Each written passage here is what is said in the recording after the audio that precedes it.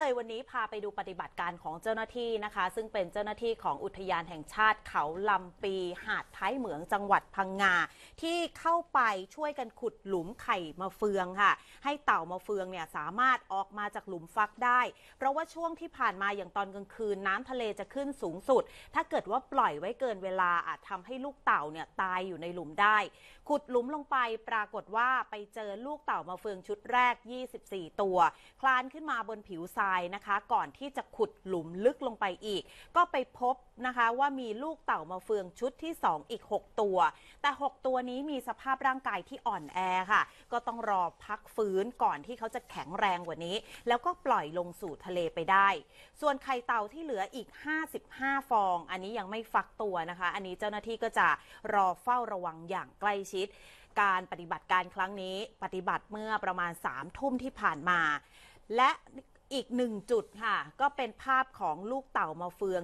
24 ตัวนะคะ เนี่ยค่ะ กำลังคลานลงสู่ทะเลเลยนะคะ เจ้าหน้าที่แล้วก็คนที่อยู่ในพื้นที่เขาก็มารอดูแล้วก็ลุ้นให้กำลังใจ เพราะว่าเหตุการณ์แบบนี้เราไม่ได้เห็นกันบ่อยๆ และถือว่าเป็นชุดแรกของปีนี้อีกด้วย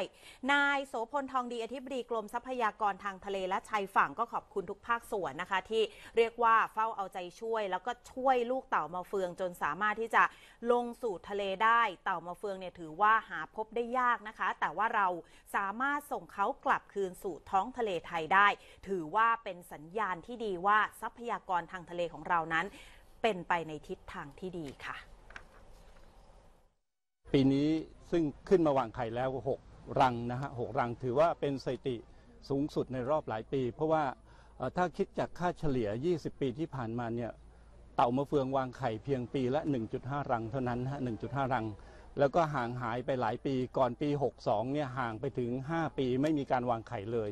อปี 62 ปีที่แล้วเนี่ยวางไข่ 3 รัง ปีนี้ 6 รังแล้ว แล้วก็ได้รับทราบเมื่อตอนเย็นนี้อีกว่า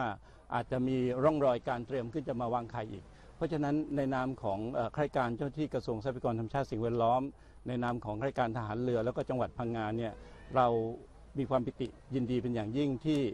วันนี้ถือว่าเป็นความสำเร็จ ในความร่วมมือในความร่วมใจของพี่น้องประชาชน ทุกภาคส่วนที่มีส่วนร่วมในการดูแลรักษาทรัพยากรธรรมชาติสิ่งแวดล้อมโดยเฉพาะอย่างยิ่งเต่ามะเฟืองในวันนี้ ซึ่งเป็นสัตว์สงวน